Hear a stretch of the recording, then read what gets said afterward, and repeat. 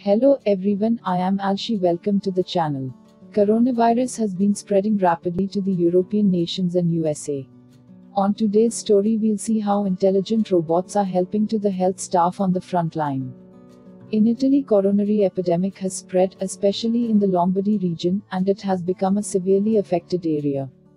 The hospitals are understaffed and medical staff are in a hard fight. However, at the critical moment of the Italian war epidemic, technological products appearing on battlefields, showing their talents. Six units from the Chinese flag HA technology were used in a hospital in Varese, Lombardy to reduce the contact between doctors and patients. AI robots are assisting in treatment. At present, Lombardy also plans to invest more AI robots in various hospitals. The six Sanbot AI robots currently in use are responsible for 12 new patients with pneumonia, and the main work of AI robots it is a simple physical examination and monitoring of patients with the help of cameras. AI robots can save medical staff a lot of time and effort, thereby improving the quality of ambulance. The dexterous figure of Sanbot robot once appeared in the closing ceremony of the 2017 World Robot Conference serving as the closing ceremony master of ceremonies.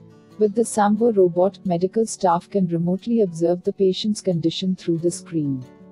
Without having to enter the ward and communicate with the patient. Not only reduces the risk of close contact with infection, reduces the consumption of protective equipment.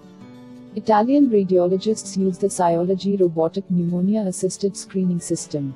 In early 2020, the Cytec medical robot assisted screening system InferRead won the European Union CE certification for medical devices.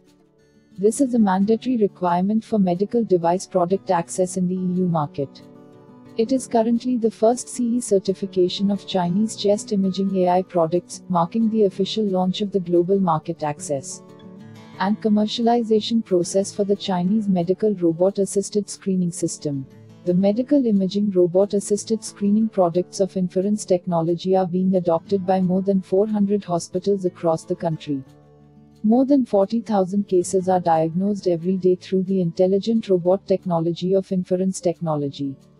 Chinese technology companies are continuously innovating and fulfilling their promise of committing to helping patients' lives and time race through technological innovation, with practical actions.